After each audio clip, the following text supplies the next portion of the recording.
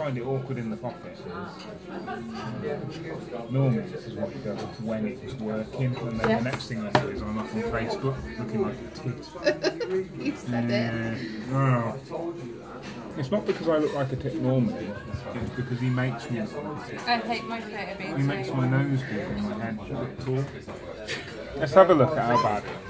Yeah. Realise Turn it put it all round. on video. I took a picture of his nose once because I said it was. He didn't believe me until I took to a picture focus. from the phone. Um, he's a very cunning bastard. You've got to be very careful with this man. Yeah. Mm, you basically can't trust him. No, okay. See now, he's probably this is probably going directly to the BBC. Yeah.